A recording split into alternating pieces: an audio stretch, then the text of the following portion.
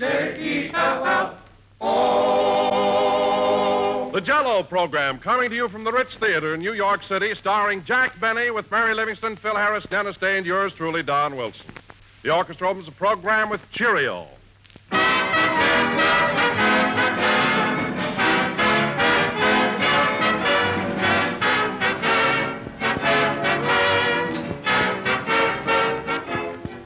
Ladies and gentlemen, if I seem to be just a bit excited tonight, please forgive me because Jack and I just got our first glance at a wonderful new recipe book that the General Foods people have been working on for the past year and a half.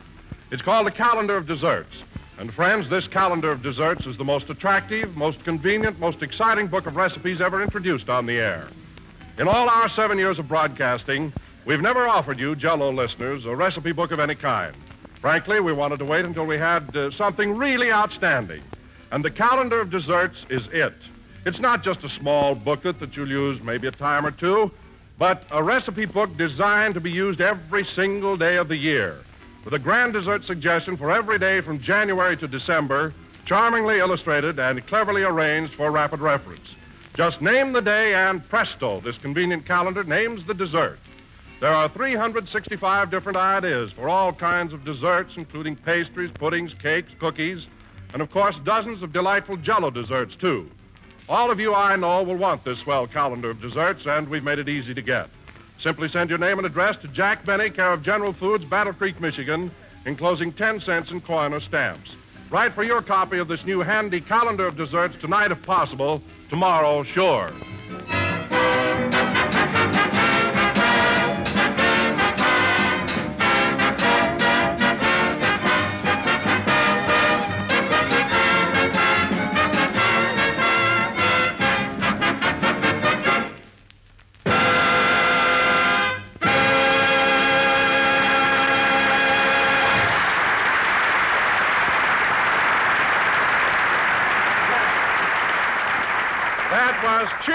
Played by the orchestra.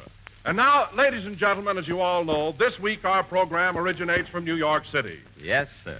New York, which was originally purchased from the Indians for $24. Yep, 24 bucks. So tonight we bring you a man who could have bought it for $23.50, Jack Benny.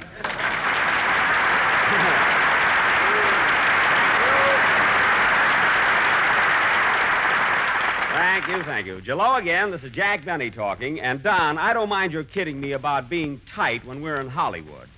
But here in New York, it doesn't fit. You see, there's a guy living in this town that makes me look like Diamond Jim Brady. Yes, I think I know who you mean. I think you do. Uh, this particular fellow, whom I shall refer to as F.A., is so stingy that all during the election he wore a Roosevelt button with Teddy scratched off.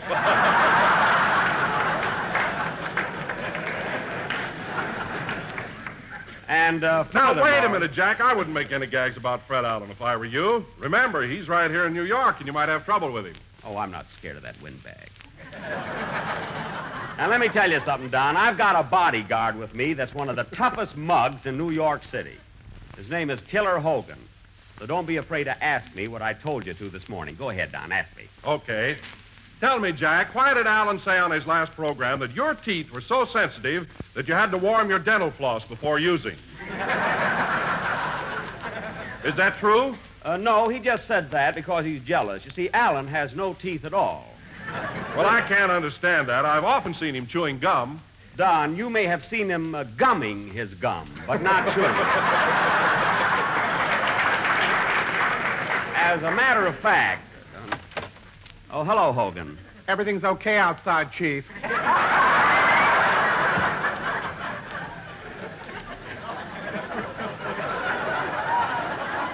Okay. Everything okay in here, Chief? Yes, okay. I'm on the job, Chief. Okay, okay. Well, Don, it's sure great to be back on Broadway. And, Oh, uh, pardon me, Jack. Was that Killer Hogan? yes, he may not look so tough, but he's really a gorilla. Uh, tell me, Don, have you uh, had any fun in New York? Oh, yes, indeed, Jack. The little woman and I are having a grand time. Oh, yes, the little woman. By the way, Don, as long as this trip is a sort of a honeymoon for you, I'd like to pay your wife's hotel bill as well as yours. Oh, no, you don't have to do that, Jack. Oh, yes, Don, I insist. Well, thanks. Thanks very much. That, that's darn nice of you. That's all right. By the way, uh, where are you living? At the Ritz Carlton. Oh. oh, the uh, Ritz Carlton, eh? Yes, it's on Madison Avenue. I know where it is, you big fathead. all right, Don, I made a promise and I'm going through with it. You can live at the Ritz. Thanks. Now, here's a handful of nickels. You know where to eat. no use standing in line for change. Uh, hey, Chief, Oh, there's, uh, there's a dame out here. Should I let her in? a dame. Yeah, she looks suspicious. Out of my way, Ecstasy. Mary.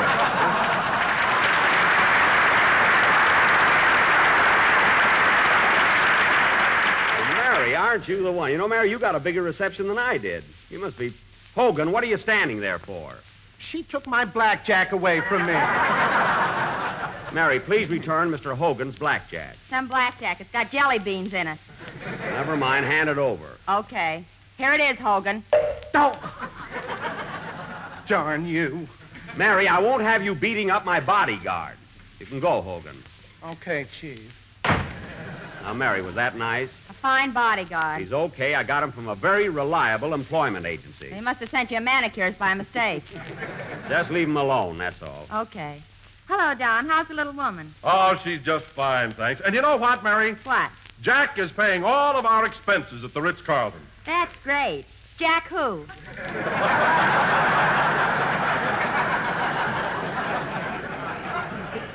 Jack me, that's who. I'm paying all the expenses for Don and his wife while they're in New York. It was my own idea. Can't be the heat. It's cold here.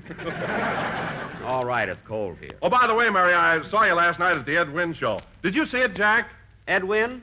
Uh, not yet, Don. Well, don't miss it. He's a scream. Tell you, Jack, my sides still ache. Oh. Ed Wynn, eh? You should have been there. You know, Jack, Don laughs louder at Ed Wynn than he does at you. Oh, he does, eh? What else did you see, Mary? Oh, I saw a lot of swell shows. I've been going every night. Ed Wynn, eh? I saw George Washington slept here and Panama Hattie, and I saw. Just a minute, Mary. Listen, Wilson, what's so funny about Ed Wynn?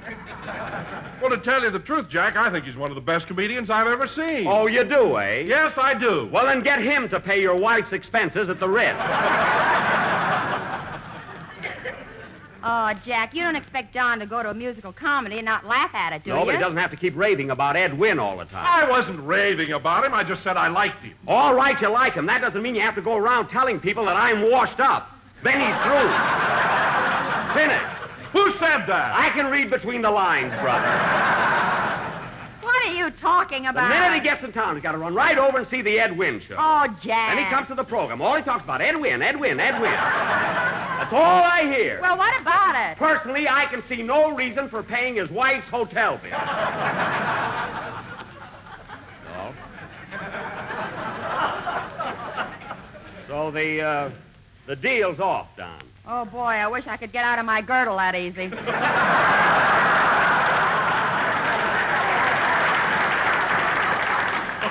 I wasn't trying to get out of it, Mary, but...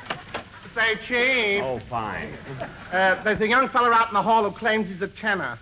Should I give him the old one, too? No, let him in. Okay. Come in, you. Oh, hello, Dennis. Hello, Mr. Benny.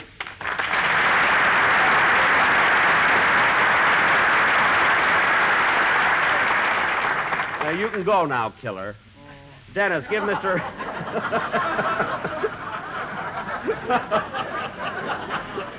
Dennis, give Mr. Hogan his blackjack. The jelly beans, too? Yes. Now get out, Hogan. Who is he, Mr. Benny? My bodyguard. I got him in case Fred Allen tries to have me slugged. Well, you don't have to worry about anyone annoying you at the hotel, Mr. Benny. You're at the Sherry Netherlands, aren't you? Yes, Dennis. Why? Well, my uncle is the house detective there.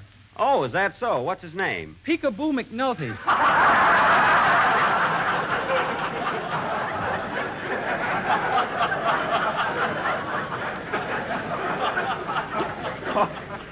Oh, yes, I met him.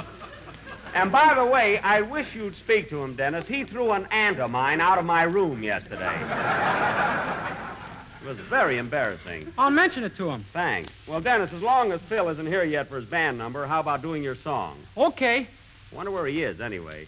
Mary, did you call Phil at his hotel like I told you to? Yes, and before I could tell him who I was, he made a date with me. Oh, well, he'll probably be along pretty soon. Go ahead, Dennis. Let's have your number. Okay. Now what? Come in? Mr. Benny, Yes. it gives me extreme pleasure to welcome you to our. Thanks, Hogan. Drag him out. Okay, Chief, I knew I'd get rolling. I knew you would.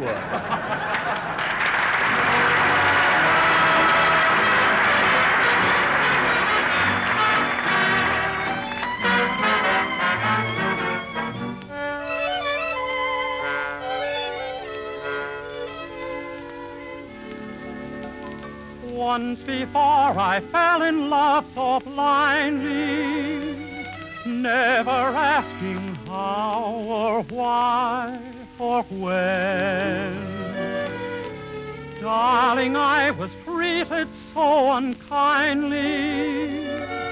I resolved I'd never fall again. There my heart again. There I go, acting not so smart again. Oh, it's unwise. I can't disguise my love.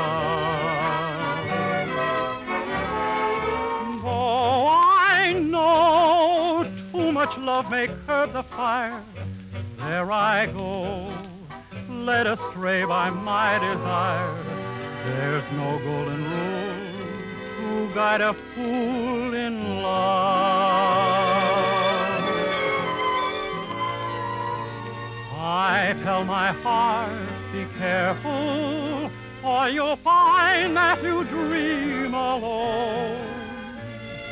I'm wise, it's true. What good does it do? My heart has a mind of its own, dear.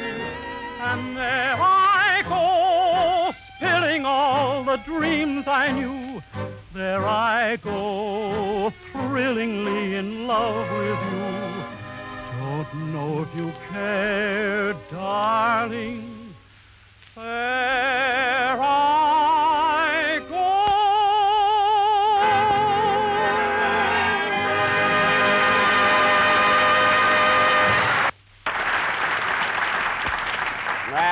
was uh, There I Go, sung by Peekaboo's nephew.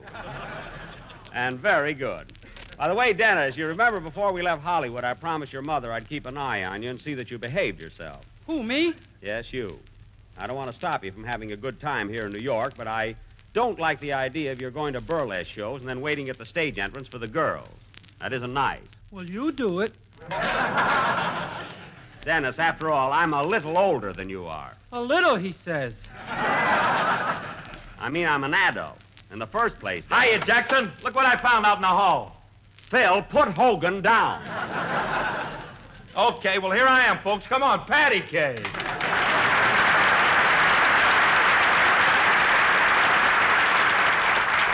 You had to ask for it, didn't you? All right, killer, you can go.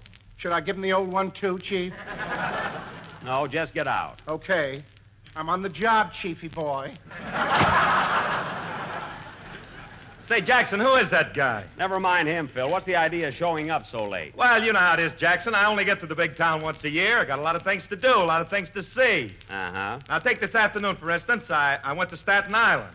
You went to Staten Island. How did that happen? I followed a blonde into a hotel, and it turned out to be a ferry boat. Oh, so you went to Staten Island, eh, Phil? Did you see the Statue of Liberty? Yeah, and she waved at me. Now cut that out! Anyway, Phil, it's nice to do a little sightseeing while we're in New York. Oh, boy, Fifth Avenue on a windy day.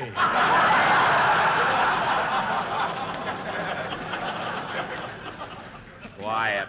What a guy. Say, Phil, don't forget you promised to take me to see Life with Father next week. It's a date, Mary. Wait a minute, Mary. I took you to see Life with Father the last time we were in New York. Yeah, but look where we sat, way, way up in the balcony.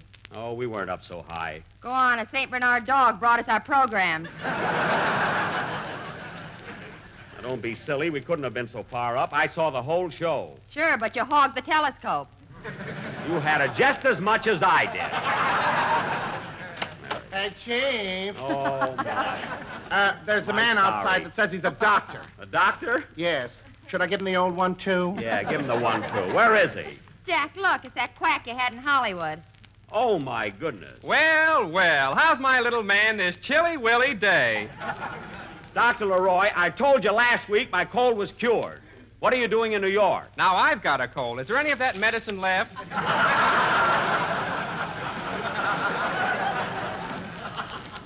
No, there isn't. Well, as long as I'm here, I might as well look you over. Doc, I told you there's nothing wrong with me. I feel wonderful. Now open your coat. I want to Oh. tap your chest. Oh, what's the use? Now hold still. You see, there's nothing wrong. Let's try over here. Well, there goes my watch.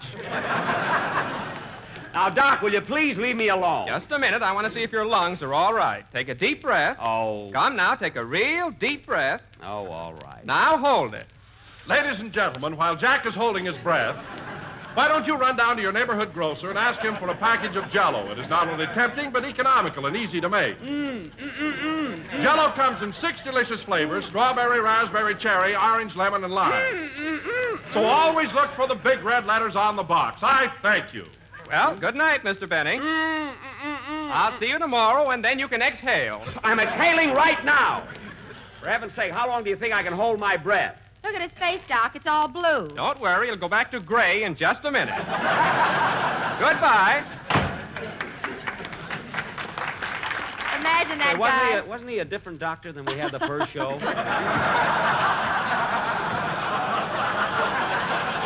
you know, folks, that's what I like about radio. If your doctor gets sick, you can always use one of your writers. Imagine that guy coming all the way from Los Angeles. He was here, Mary. He didn't come from Los Angeles. Believe me. I see him every day. Well, it's Rochester's fault. I told him before we left Hollywood to call up the doctor and tell him I don't need him anymore. Hey, Jackson, where is Rochester? I don't know. I haven't seen him since our first day in town. We got off the train. He came to the hotel with me, unpacked my trunk, pressed my new brown suit, put it on, and that's the last I saw of him. Now, Phil, play a number while I cool off a little, will you? Okay. But listen, Jackson, this isn't my regular band, so don't expect too much. Phil, believe me, if they hit just one good note during the entire number, you have not made this trip in vain. now go ahead, Chiefy.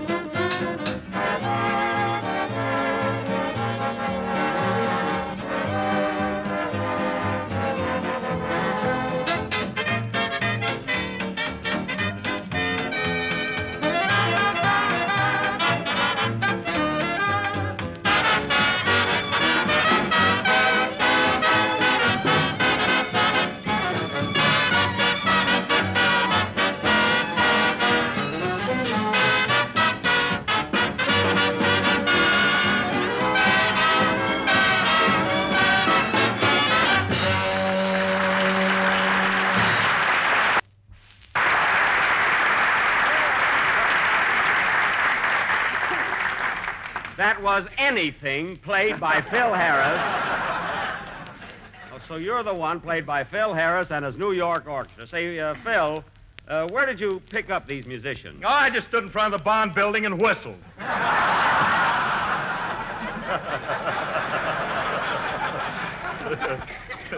Well, from the sample I just heard, you better go back there and pucker up. Say, Mary, uh, do me a favor, will you? Uh, what do you want? Uh, get my little book out of my overcoat. I got some phone numbers there where I might be able to reach Rochester. Okay. I'll find out once and for all whether he's California's ambassador to Harlem or working for me. Hey, Chief, Oh, fine. What is it, Hogan? there's a guy out here who says he's the mayor. The mayor? Yeah, he don't look like LaGuardia to me. he don't, eh? No. Hello, Jack. Can I see you for a minute? What? Why, it's the mayor of Waukegan, Bidey Talcott. Come on in, Bidey.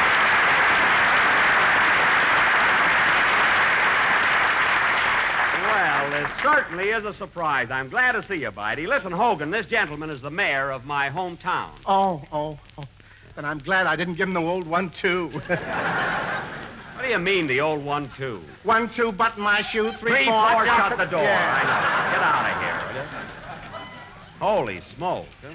My goodness, Jack, who is that fellow? Well, it's like this, Bidey. Fred Allen's got a bunch of thugs out looking for me, so I had to hire a bodyguard. Bidey, you know the gang, don't you? Sure. Hello, Phil. and Don. Oh, glad to see you, Mayor Talcott. Hiya, buddy. What's cooking? Phil, please. Well, well. And there's Kenny Baker. Hello, Kenny. Hello. Dennis, wake up. You're not Kenny Baker. What's the difference? A tenor's a tenor. Well, I've had trouble with all of them, if that's what you mean. Tell me, Bidey, how's the old gang in Waukegan? How's Julius Finnegan and Stub Wilbur? Oh, they're around. The last time I saw Stubb, he was on the floor of his garage. well, fixing a car, eh? Nope, just laying there. Ah, good old Stub, huh? Here's your little red book, Jack. Thanks. Oh, Mary, you remember Bidey Talcott, the mayor of Waukegan, don't you? Oh, sure. Hello, Mary. Hello, Bidey. What's that under your nose? That didn't go the first show either, I guess. Say, Bidey, I don't know why we didn't change that. We were changing. How did I overlook that? Bidey, I meant to ask you, isn't that your gavel sticking out of your coat pocket? Yeah. What do you need that for? You're in New York. I brought some walnuts with me. Goody. After the show, we'll have a party. Yeah. Now, excuse me a minute, Bidey. Say, Mary, I've got to get in touch with Rochester. Call up this first number in my little book. He may be there. Okay. Well, Bidey, I can't get over your being in New York. What's the big idea? I came to see you about the premiere of your picture, Jack. We're all set for you in Waukegan. In Waukegan? Why, Bidey, didn't you know the premiere of Love Thy Neighbor is being held right here in New York Tuesday night? Well, I'll be doggone. Jack, Yeah. that number's ringing. Uh, give me the phone. Excuse me, Bidey. Uh, hello? Hello, this is the Harlem Social Benevolent and Spare Ribs Every Thursday Club.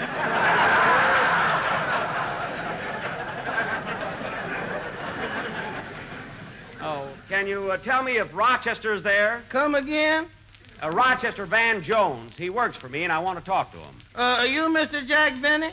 Yes. Uh-oh. What do you mean, oh, oh, is he there or not? Well, he was here, Mr. Benny, but as soon as he started to win, he left. Oh, I see. Was he shooting craps? Uh, he must have been. We ain't much on backgammon up here.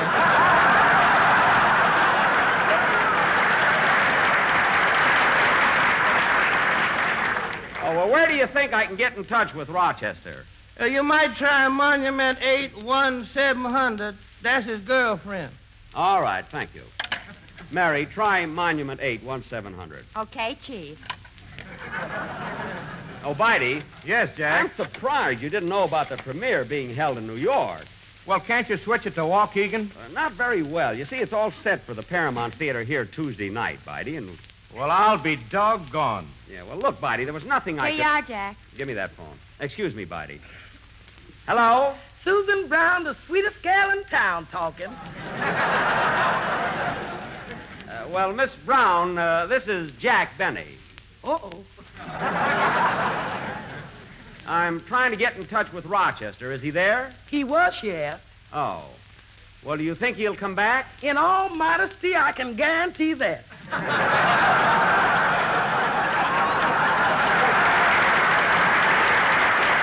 Well, Miss Brown, when he returns, will you please have him call my hotel?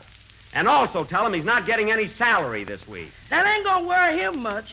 He's got a paradise that must have gone to Harvard. Oh, he has. Well, Miss Brown, where do you think I could reach him right now? Well, he left a number here.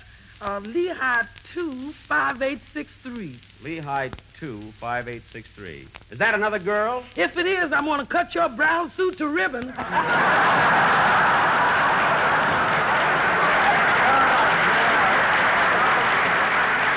Well, I'll call anyway. Thank you very much. Goodbye. Goodbye.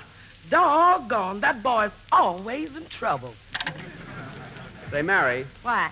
uh, Rochester won a lot of money in a crap game last night. Well, figure out some way to get it yourself. I'm busy. It's not why I mentioned it. Dial Lehigh 2, 5863 and see if he's there. Okay. You know, Bitey, I'm awfully sorry about the premiere, but didn't you get my letter? Sure, but I want the opening to be in Waukegan. So do I, Bitey, but it can't be done. Oh, why not? Look, Bitey, if I told you once, I told you five times. The premiere is in New York, and there's nothing I can do about it. Here you are, Jack. Give me the phone. Excuse me, Bitey. Hello? Hello, Lenox Avenue, Jim to your spin club. Now look, Mr. Mr. Radcliffe Spears Jr. talking, sir. Now look, Radcliffe, I'm trying to get in touch with Rochester Van Jones. Uh-uh. This is Jack Benny. Yeah, you heard me uh-oh, didn't you?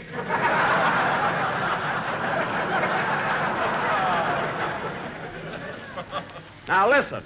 Uh, what about Rochester? Is he there? Uh, he was here, but he made his point and left.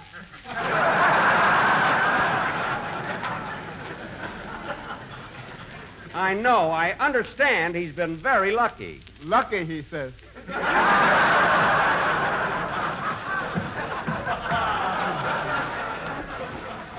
Now, Radcliffe, please tell me, where did Rochester go? I don't know. Hey, Sylvester, where did Rochester go? I don't know. Hey, Pancake, where did Rochester go? I don't know. Hey! Hey, never mind. Let it go. I'll find it myself.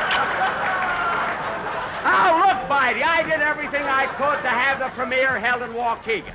I went to Paramount personally. I argued about it. But they insisted that it must be in New York. So you see, Bitey, if there was anything I could possibly do, I'd be glad to do it.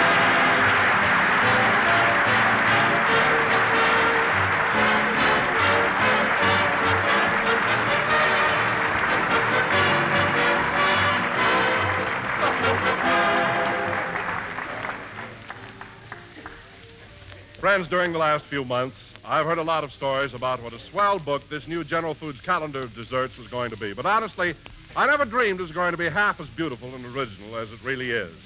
It's a unique dessert book that gives you a new dessert idea for every day in the year. 365 different suggestions covering every kind of dessert and a whole host of clever jello treats, too. For example, on page nine, there's a recipe for a grand dessert called Currant Ruby Molds, made with rich red strawberry jello, and it's really good.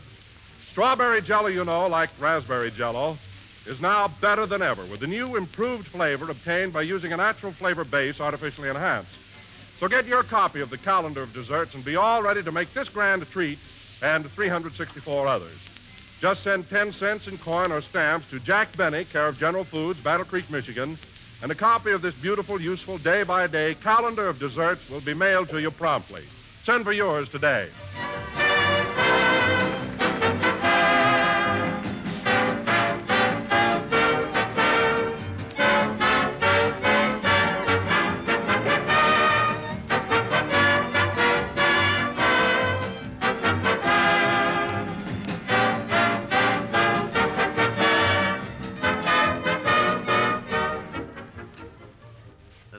Last number of the 11th program in the current Jello series, and we will be with you again next Sunday night, still broadcasting from New York City.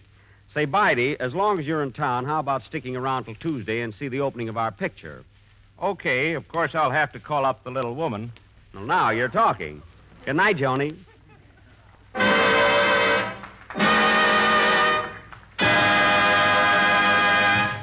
J-E-L-L